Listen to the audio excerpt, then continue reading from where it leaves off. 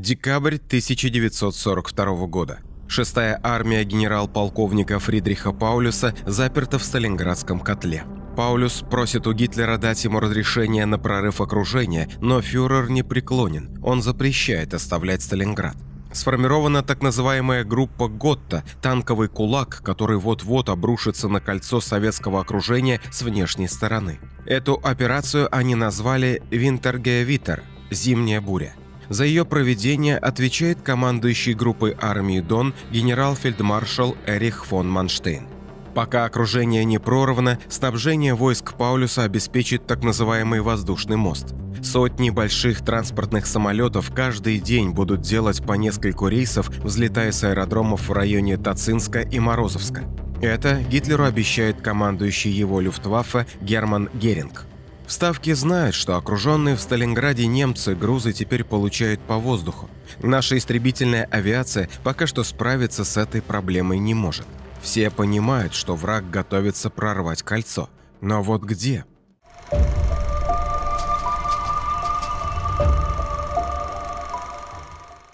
Двенадцатого декабря 1942 года танковая группировка Готта ударила там, где ее не ждали, с юго-западного направления. Наши войска держались из последних сил. Если вражеские танки прорвутся, то армия Паулюса выскользнет из котла. В Москве принимают решение нанести свой контрудар, но не под Сталинградом, а на участке Юго-Западного фронта генерала Ватутина на Среднем Дону. Именно на этом участке планируется прорвать вражеский фронт. Именно отсюда, к главному транспортному аэродрому, к станице Тацинской, должен отправиться 24-й танковый корпус под командованием генерал-майора Баданова. Наступление советских войск на Среднем Дону начинается утром 16 декабря. После полуторачасовой артподготовки на полосе фронта шириной 350 километров в наступление переходят стрелковые дивизии. Стоят сильные морозы, лед уже достаточно прочный, и благодаря этому пехотинцы довольно легко и быстро форсируют Дон. И вот оборона, которую здесь держали итальянские части, прорвана, и в образовавшуюся брешь входят сразу четыре танковых корпуса. 17-й и 18-й громят отступающие колонны итальянцев, а 24-й и 25-й, не задерживаясь у очагов сопротивления, двигаются почти строго на юг, к аэродромам в Тацинске и Морозовске. Танкистам генерал-майора Василия Баданова предстоял самый длинный марш – 240 километров. В его корпусе четыре бригады, три танковые и одна мотострелковая. Для выполнения поставленной задачи танкистов усилили зенитным полком и полком гвардейских минометов «Катюш». Но основной ударной силой Баданова были танки – Перед танкистами Баданова стоит задача через 4 дня после перехода в прорыв захватить станицу Тацинскую и ликвидировать два расположенных возле нее аэродрома. Зима 1942 года выдалась морозной и снежной. Снег налипает на приборы наблюдения и прицеливания, поэтому для улучшения обзора механикам-водителям приходится ехать с открытыми люками, через которые в танк проникает жуткий холод и густой снег. И так на протяжении всего многочасового перехода. В ночь на 18 декабря корпус освобождает два первых села, выбив оттуда немцев неожиданной атакой. Во второй половине этого же дня танки Баданова отрезают пути отступления богучарской группировки врага на восток. Это означает ее полный разгром в дальнейшем. Еще один ночной 40-километровый марш, и к утру танки с двух сторон, с севера и юга, врываются в очередное село, которое занимает сильный итальянский гарнизон. У врага начинается паника. В результате уничтожено 800 итальянцев, две зенитные батареи, несколько танков. Захвачено множество складов, несколько мотоциклов и до 300 грузовиков. Последнее особенно важно. Часть машин тут же забирают для перевозки мотострелков и боеприпасов. Немецкое командование пытается задержать продвижение корпуса генерала Баданова массированными бомбежками. В ответ танкисты используют рассыпной строй и высокую скорость передвижения. Из воспоминаний командира одного из танков Бадановского корпуса Николая Горягина. Мы выводили танки из-под прямого бомбового удара прежде всего за счет внимательного наблюдения за появляющимися вражескими самолетами. Через открытый люк наблюдали за тем самолетом, который направляется или резко разворачивается на танк. Все внимание сосредоточивалось только на том самолете, который шел для удара по танку. Как только одна бомба или несколько отделялись от самолета, давалась команда механику-водителю, в какую сторону развернуть танк. За два дня корпус Баданова преодолел более 110 километров. В это время, 19 декабря, Манштейн отправляет в Ставку Гитлера телеграмму, в которой настоятельно требует немедленно разрешить 6-й армии начать отход от Сталинграда и прорваться в юго-западном направлении на соединение с 4-й танковой армией Готта. Не дожидаясь ответа, он отдает Паулюсу и Готу приказ нанести удар навстречу друг другу. Гитлер с идеей встречного удара согласился, но запретил Паулюсу оставлять Сталинград. Утром танки Баданова уже возле населенного пункта Дегтева. Здесь сходятся дороги на Миллерово и к. Кроме немецкого гарнизона, здесь скопились части разбитой 11-й румынской пехотной дивизии. Танкисты Баданова делают обходной маневр. В 17.00 одна танковая бригада атакует Дегтева с фланга, с запада, вторая – с севера – захватчики в панике. Село освобождено, а вместе с ним и военнопленные концентрационного лагеря. Многие из них сильно истощены и с трудом передвигаются, остальные же просят выдать им оружие и принять в состав танковых бригад. Этих людей вооружают трофейными винтовками и автоматами, и они пополняют число танковых десантников. У бойцов Баданова нет возможности долго отдыхать. 21 декабря корпус громит остатки отступающей 11-й румынской пехотной дивизии. Советские радисты перехватывают их радиограмму. Остатки дивизии отходят в беспорядке. Потеряна вся артиллерия и другая боевая техника. С фронта справа и слева русские. В ночь с 21 на 22 декабря танкисты и мотострелки очищают от противника другое село – Ильинку. Теперь корпусу Баданова до Тацинской остается всего 60 километров. Но на полпути к ней находится мощно укрепленная немцами станица Скосырская, которая закрывала транспортный узел шоссейных дорог. Без взятия ее нельзя было выйти на Тацинскую. Баданов решает атаковать станицу с флангов. 54-я и 130-я бригады, а также одна рота мотострелков предварительно заходят справа и слева. Остальные подразделения имитируют штурм станицы в лоб, чтобы отвлечь на себя основные силы гарнизона. Он состоит из полбатальона немцев и полутора сотен казаков. Штурм начинается в ночь с 22 на 23 декабря и становится для врагов полной неожиданностью. К утру все было кончено. В Скосырской немцы потеряли убитыми около 800 солдат и офицеров. В плен сдались 215 человек. Было захвачено 4 склада с боеприпасами и продовольствием, а также 32 исправные автомашины.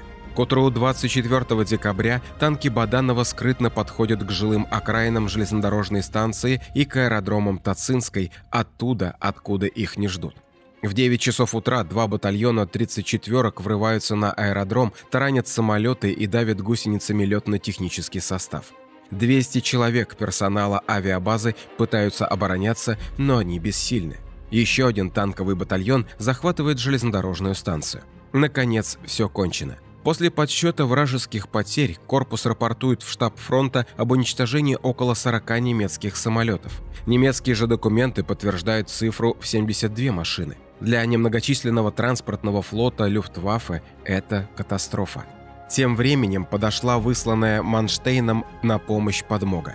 В 11.00, когда на аэродромах вовсю гремели бои, севернее, станицу Скосырскую, где оставались тылы корпуса Баданова, атаковали 15 вражеских танков и мотопехота. Потеряв пять грузовиков с продовольствием и штабной автобус, тыловики и танки отошли от станицы на север. В результате корпус Баданова оказался отрезанным от своих.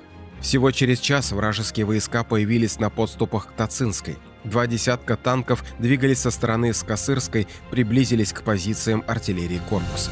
Баданов приказал развернуть «Катюши» и пушки и открыть огонь прямой наводкой. По его приказу одна из танковых бригад атаковала немцев во фланг и отбросила их. В это время остальные танкисты и мотострелки продолжали освобождать Тацинскую. В 17.00 Баданов докладывает в штаб фронта. Тацинская полностью очищена от противника. В строю 58 танков, 39 Т-34, 19 Т-70. Обеспеченность горючим и боезапасами, дизельное топливо 0,2 заправки, бензин первого сорта 2, бензин второго сорта 2, боезапасы 0,5 боекомплекта. Корпус занял круговую оборону, пехоту и танки врываем в землю.